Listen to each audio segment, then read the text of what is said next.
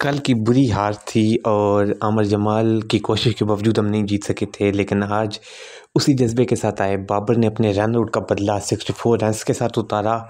Sam ने पहले over में आउट होने का बदला 200 के स्ट्राइक रेट से 40 प्लस की इनिंग खेल के उतारा। अमर जमाल का जो कल फेलियर था, उसका बदला अमर जमाल ने एक रन आउट और दो विकेट्स लेके उतारा। आसफ अली से जो फ़ील्ड मिस हुई, उसका बदला आसफ अली ने एक best catch of this season करके उतारा और इस तरह पिशावर जलमी ने एक ज़बरदस्त मैच जीत लिया।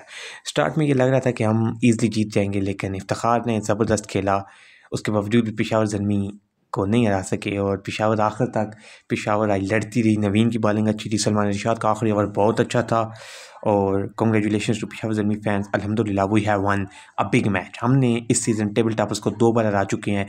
और अब पिशावर जमी के प्ले में जाने के चांसेस बहुत क्लियर नज़र आ रहे हैं। Best luck Babar Azam and Peshawar Zalmi for next matches